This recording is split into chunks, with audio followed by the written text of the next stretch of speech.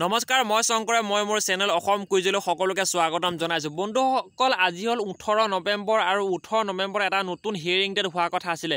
কিয়নো মই আজি ৰাতিপুৱা আপোনালোকক এটা আপডেট দিছিলোঁ যে আজি মানে হঠাতে এটা আপডেট দিছিলে যে আজি ওঠৰ নৱেম্বৰ তাৰিখে এটা নতুনকৈ হিয়াৰিং ডেট হোৱাৰ কথা আছিলে আৰু আজি কি হ'ল কি নহ'ল মই এইটো ভিডিঅ'ত আপোনালোকক সুন্দৰকৈ বুজাই দিবলৈ চেষ্টা কৰিম। যদিহে আপুনি পোন প্ৰথমবাৰ কাৰণে আহিছে প্লিজ ছাবস্ক্ৰাইব কৰি দিব লগতে বেল আইকনটো প্ৰেছ কৰিব নাপাহৰিব।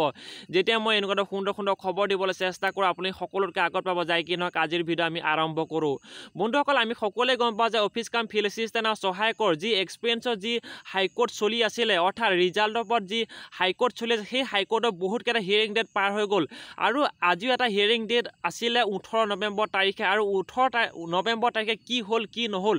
বন্ধুসকল মই আপোনাক কওঁ যে ওঠৰ নৱেম্বৰৰ পৰা আকৌ দুই ডিচেম্বৰলৈ তেওঁলোকে ডেটটো ট্ৰান্সফাৰ কৰা হৈছে। অৰ্থাৎ আজিৰ পৰা অৰ্থাৎ দুই ডিচেম্বৰত আকৌ এটা নতুনকৈ হিয়াৰিং ডেট হ'ব। আৰু লগতে পি ডি এফ ফাইলটো এতিয়ালৈকে বৰ্তমান যিহেতু আপলোড হোৱা নাই কি কাৰণ কি কাৰণতে দুই ডিচেম্বৰলৈ লৈ গ'ল সেইবোৰ মই অহা কাইলৈ আপোনালোক নতুনকৈ যেতিয়া P D F file upload কৰিব তেওঁলোকে তেতিয়া আপোনালোক মই সঠিক বিতৰণ কৰি দিবলৈ চেষ্টা কৰিম। যদিহে আপুনি পোনপ্ৰথমবাৰ কাৰণে আহিছে এতিয়া লগে লগে আপোনালোকে ছাবস্ক্ৰাইব কৰি থ'ব। আজিলৈ ইমান ধন্যবাদ জয় অসম।